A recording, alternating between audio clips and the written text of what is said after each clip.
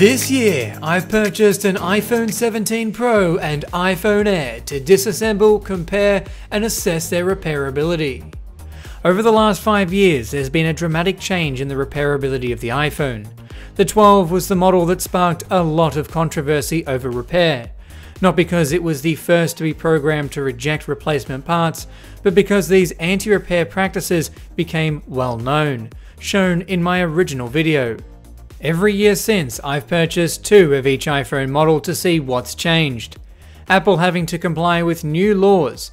Last year's iPhones allowed parts from two brand new and identical iPhones to work, after running Apple's online calibration tool. The use of third party parts has improved also, with things like third party batteries once again displaying battery health. Although the full compatibility of third party parts is debated, they're not eligible for Apple's parts pairing tool, and even some used genuine parts are facing issues. So, unlike my previous teardown and repair assessment videos, there was no longer a need for two identical phones, as that will no longer tell us the compatibility of third party parts. So instead, we'll take a look inside the new iPhone Air and iPhone 17 Pro, see what the size of that iPhone Air battery really is, because Apple hasn't made it public as well as the physical repairability of both devices and Apple's new plateau camera bump, which is supposedly housing more than just the cameras. I'll get both phones unpacked in preparation for our teardown. Included with the Pro model is a USB-C cable and SIM eject tool. For the Air, you'll only get the cable and a piece of paper stating you'll no longer need a physical SIM card. Because the Air is so thin, Apple has chosen to remove the SIM tray on all iPhone Air models worldwide. I don't have an eSIM, nor does my carrier support it, so this is just an expensive iPod Touch for me. The Pro still has a SIM tray, at least in my region. North American phones are not so lucky.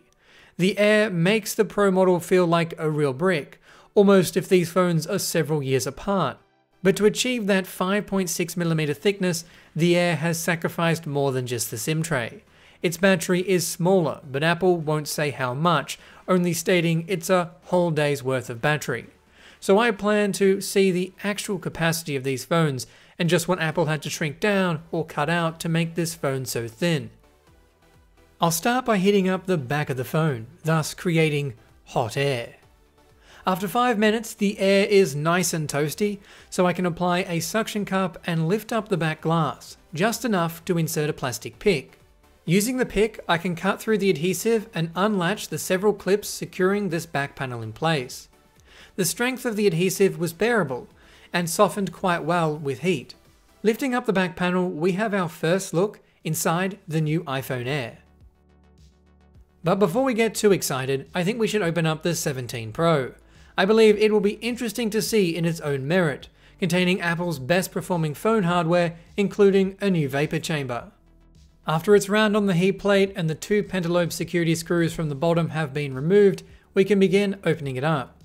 The 17 Pro didn't open up as easily as the Air, having to be returned to the heat plate two further times. Eventually, I cranked it up to the high setting to really get some heat into the phone. But after working my pick between the display and frame, the opening procedure is the same as what we've just completed with the Air, although I found this adhesive to be far stronger. Lifting the display to the left hand side, we can see the redesigned internals. Immediately, we can see the Pro and Air models are vastly different. Not only do they open from opposite sides, the Pro appears to be covered in a new bracket spanning a large portion of the device and the Air's battery is enclosed in a metal case. The 17 Pro also features a new type of screw, Torx. Granted, it's not a security version, it adds to the amount of screwdrivers you'll need to repair this device, which includes Pentalobe, Tri-Wing, Torx, Phillips, and Standoff. The Air, however, lacks any Torx screws.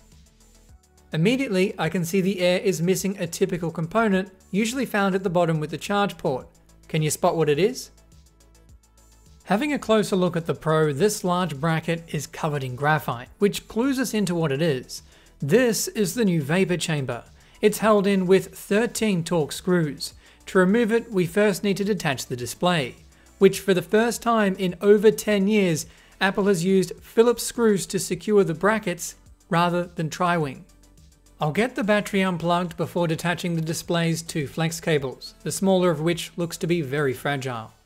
Next, we can remove all those Torx screws to free the vapor chamber.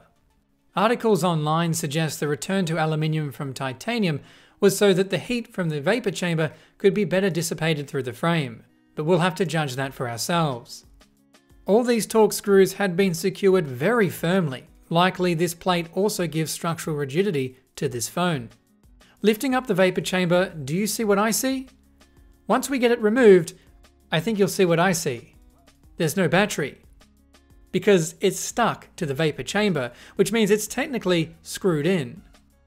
As we want to see the vapor chamber, I'll remove the battery from this metal bracket. While it might look like a pull tab, it isn't. Removal is similar to last year's iPhone models. A power supply of around 9 to 12 volts needs to be attached and left for a few minutes for the adhesive to break its bond. I had to take a bit of an educated guess as to where I needed to attach the wires. Apple usually mentions this in their repair manuals, however, they've yet to be released for the 17 series phones. Once it had reached 0.1 of a volt, the battery's adhesive had deactivated and the battery could be just lifted free. That leaves us with an uninterrupted look at the vapor chamber. The vapor chamber doesn't directly attach to the CPU with any kind of thermal paste, which is odd. There is a black pad, although it doesn't look like any thermal pad I've seen before.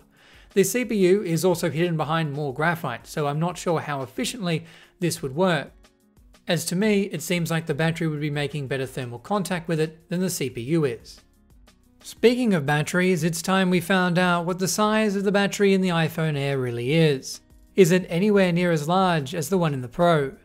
With the back panel removed, we can see how some of the components sit proud of the frame being housed in the camera bump. It seems the Air wasn't fortunate enough to get all Phillips screws on the battery or back panel bracket, like the Pro did. Once the battery is unplugged, we can work on removing it in a similar way to the Pro. I connected the two adhesive strips together with the battery, however I now believe you need to do one at a time, connecting one side of the battery to the frame, as the method I did here only unadhered one section of adhesive. The display's fragile flex cable is exposed beneath the lower section of the battery, so avoid prying in this area. We have the Air battery in hand, its size 12.26 watt hours, with the Pro version rated at 15.53. Surprisingly, the Air's rated battery capacity isn't all that much smaller. I was expecting a larger difference, the footprint of the Air's battery is larger, but it's only 3mm thick compared to the 5.3mm of the Pro battery. The connectors are different, but the same iPhone Air battery can be found in the MagSafe battery pack. Next, we'll work on getting the motherboard and cameras out of these phones. In Apple's usual fashion, there's a lot of brackets, flex cables, and screws of varying length to keep track of. I was hoping to be able to remove the logic board first, However, this is not possible. Not only is one of the camera's flex cables in the way, but there's also two additional cables located under the earpiece speaker and camera assembly that need to be detached before the logic board can be removed. For the past 8 years, iPhone cameras have been getting progressively larger. This is the largest yet. Here it is in comparison to an iPhone 11 Pro, the first Pro model iPhone.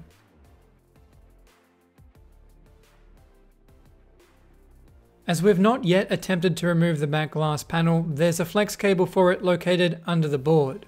Folding it to one side, its bracket can be unfastened and its cable unplugged. With that, our logic board is free. In what Apple calls the plateau is the LED flash, a microphone and antenna hardware. With the Pro's logic board out, it's time for the Air. Learning from my experiences with the Pro, I'll start with the camera. Although, even after its screws are removed, it's not coming out.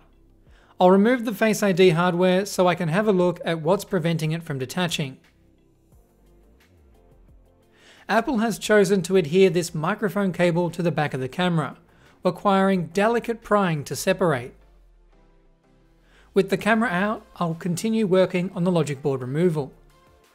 I don't usually say this, but if you're enjoying watching me take apart these new iPhones, consider subscribing. I'm only 17,000 off a million. If not for the support I've received for these videos over the years, these teardowns wouldn't have been possible. So thank you to everyone who has been with me all these years. Like the Pro, this Air also has cables underneath its logic board. These two are for the display, of which can be removed separately from the frame like previous iPhone models, allowing for straightforward display and back glass replacements. With the logic board free, we can see just how thin they managed to get it.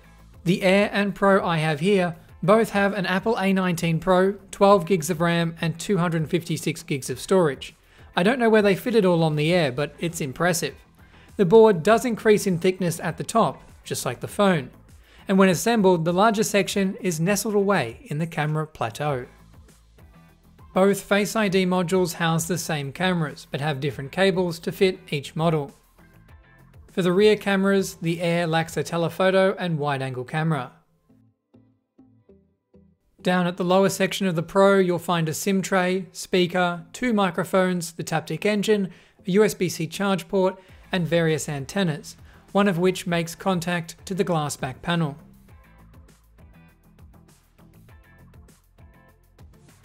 On the Air, things are a bit different. Firstly, there's no SIM tray on this model at all, but there's also no speaker. The earpiece speaker is on double duty to save space. The USB-C port hardware has also been slimmed down quite a bit to fit in such a thin housing. Almost everything has been slimmed down in some way to fit. This can make working on this phone more fragile than ever. Just a slip of my spudger was enough to snap this 0.1mm cable clean off. This being my fifth year of teardowns, this is the first iPhone out of the 12 or so I've purchased that I've damaged something on. I'm just thankful it wasn't a $900 screen cable, but the Taptic engine, Apple's fancy name for a vibrator. It's probably going to be a $30 part, so not an expensive fix. But what we've learned is a vital bit of iPhone Air repair advice. Unplug the leftmost cable first, because the cable next to it has the ability to tear it in half if bent backwards. The screen is removable from the frame with a removal procedure identical to the Pro model and many previous iPhone models, so for that reason I'll leave it in place. Despite how thin this phone is, the display and back panel can be replaced independently. Access to the battery and other internals can be achieved by just removing the back glass, thus avoiding any risk to the expensive OLED display. The last thing left to remove on the Pro is the back glass. Thankfully, Apple hasn't returned to their concrete-like glue from some old glass-backed phones.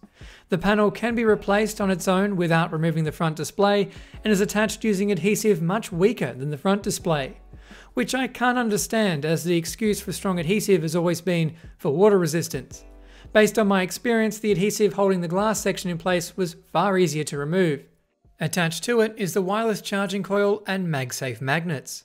With that, we've now completely disassembled the iPhone Air and iPhone 17 Pro. The Pro model has gained a vapor chamber, lots of extra Torx screws, bigger cameras, a battery that can be removed with screws, and a small glass panel that can be easily replaced. However, the redesign has foregone the ability to replace the battery without having to remove the display. The Air, Apple's new ultra-thin phone, is remarkably jam-packed, the battery is larger than I expected and can be removed with electricity, but watch out for that Taptic engine cable connecting to the charge port. It breaks easy. Now it's just the case of getting these phones back together. If you were to replace any of the major components like the display, battery, cameras or back panel, iOS will detect the change and notify you in settings. Some parts will allow for calibration and others may run at a reduced capacity or with warning messages about the replacement parts being unknown. I did a dedicated video on this and how the new system works. For more information on this, please check out that video.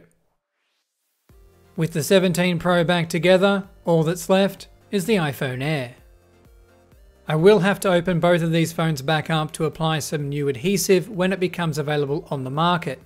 I'll also need to install a new Taptic engine into this iPhone Air to bring it back into a fully functional state.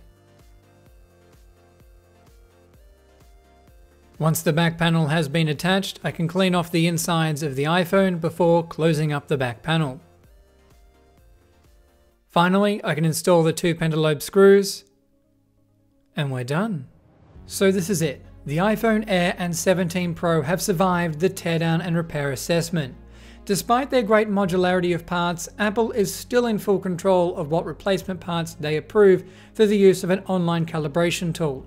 While Apple unlocked this tool starting with iOS 18, supporting the iPhone 12 or later, there's still no telling if the terms of the service will change or it'll go offline in five years' time.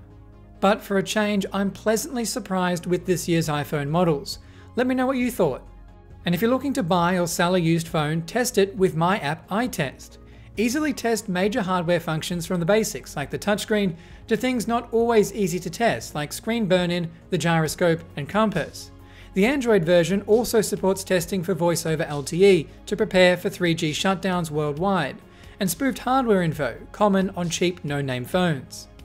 And on that note, this has been a Hugh Jeffreys video. If you like what you saw, consider subscribing and check out the Teardown and Repair Assessment playlist for more videos just like this one. And if you're looking for any used devices, be sure to check out my online store, link for which is down in the description.